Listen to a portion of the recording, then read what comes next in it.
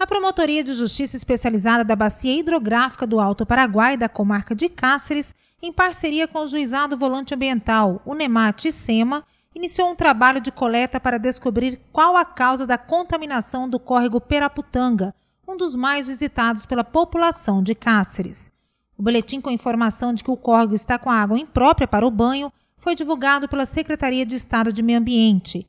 De acordo com o Ministério Público, o resultado do boletim gerou grande preocupação, tendo em vista que existem vários balneários instalados no entorno do córrego.